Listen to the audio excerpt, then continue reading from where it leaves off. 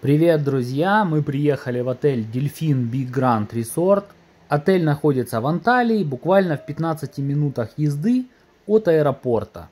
Первые отели Турции начали строить именно в Анталии. Но так как это город-миллионник, решили, что лучше развивать более мелкие города на побережье и даже поселки. Поэтому в последние годы новые отели в Анталии практически не строятся. При входе в отель температуру никто не проверяет – последнее время стало нормой проверять температуру, но, видимо, отель не считает нужным это делать, потому что все гости приезжают или с отрицательными ПЦР-тестами, или с сертификатами о вакцинации. Первое впечатление об отеле очень яркое, вокруг все стильное, грандиозное и масштабное. И даже аромат вокруг стоит такой, как будто ты находишься не в холле отеля, а в цветочном саду.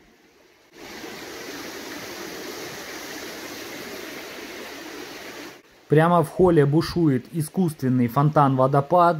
Размером в несколько этажей висит грандиозная люстра, а между этажами скользят, плавают, но точно это нельзя назвать, ездят пять прозрачных лифтов. Выйдя из автобуса к своим чемоданам мы даже не притронулись, сотрудники подхватили их прямо из автобуса и принесли в холл отеля. Чтобы поселиться в отель, нужно заполнить две формы – которых не более чем по 4 строчки. Это заняло буквально 5 минут. Я не успел даже как следует снять видео про холл отеля, а нас уже позвали надеть на руку браслеты. Причем происходит все настолько культурно, вежливо, благодарят за то, что надели каждый браслет. Одним словом, на стадии ресепшена обслуживание на высочайшем уровне. У нас были разные поселения в отеле.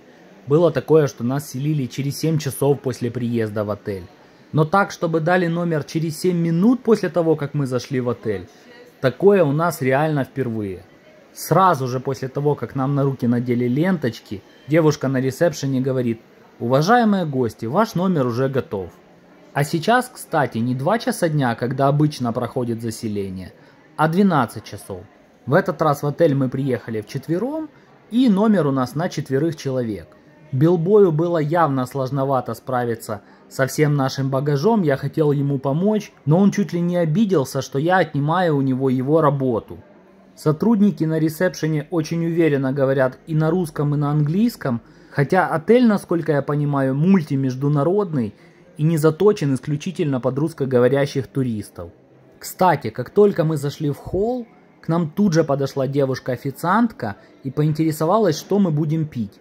Причем на наших руках еще не было ленточек с надписью «Дельфин». Просто идея состоит в том, чтобы всем, кто находится на территории отеля, было комфортно. Наш номер 4622 в блоке D. И теоретически он должен был бы находиться на четвертом этаже, но он находится на шестом. Отель настолько огромный, что заблудиться в нем можно на раз. В отеле на минуточку 19 лифтов. Наш номер должен быть с видом на море.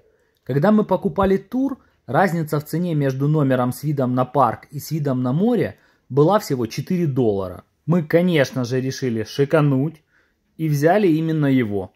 Сейчас на ресепшене нам предложили номер еще высшего класса с двумя ванными комнатами. Конечно же, за какую-то доплату, но мы даже не стали узнавать за какую, сразу отказались. Вот так вот нарядно, романтично, стильно и со вкусом встречает нас наш номер. Оказывается, те лебеди из полотенец, которые нам делали в предыдущих отелях, были просто жалкой подделкой. В этот раз Билбой свои чаевые реально заработал. Эта должность в отеле, наверное, самая легкая и в то же время самая хлебная. Первым делом, думаю, нужно оценить, какой вид открывается с нашего балкона. Друзья, это просто Грандиозно, восхитительно и ошеломительно. Мне кажется, что это именно то, чем может заманить нас к себе Турция в начале зимы. Потрясающая панорама, шикарный отель, шикарный вид на Средиземное море. В турецком языке, кстати, Средиземное море называется Агденис, Белое море. Мне кажется, глядя на море в данный момент, становится абсолютно понятным, почему оно так называется. Не хочется портить момент, но в нашем номере есть два мини-бара, которые, думаю, самое время проинспектировать. Итак, чем же нас удивит и порадует мини-бар? Помимо обычной воды, минеральная вода, здесь ее называют сода, холодный чай Липтон, три маленьких сока с разными вкусами, пепси, миринда и пепси без сахара. Также два вида пива. Эфес Малт, оно более нежное и легкое.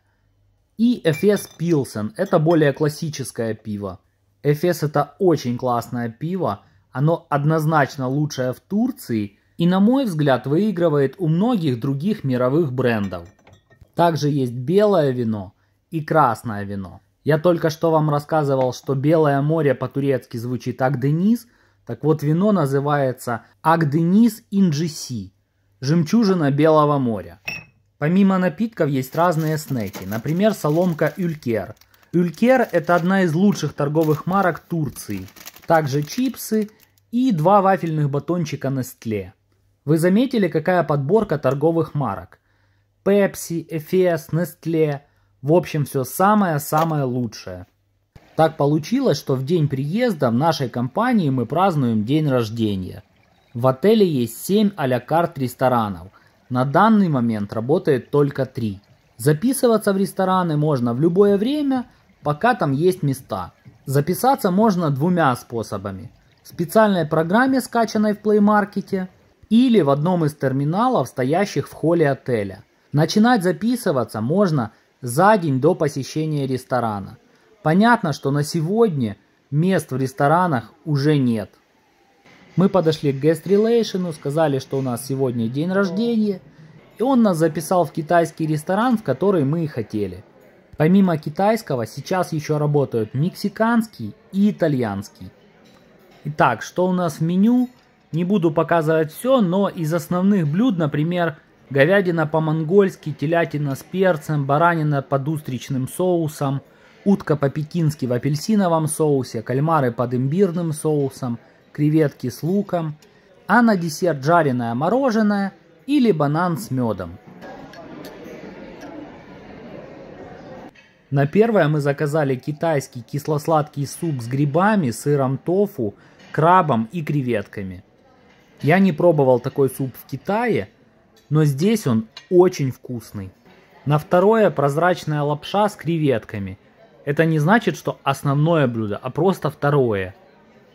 Китайские жареные пельмени с каким-то соусом, с каким я не знаю.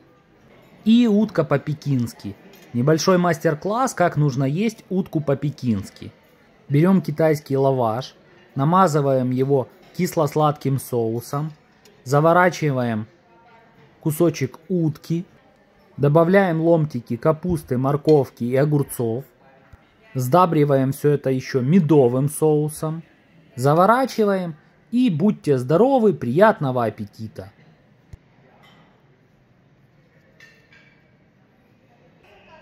И напоследок, конечно же, жареное мороженое.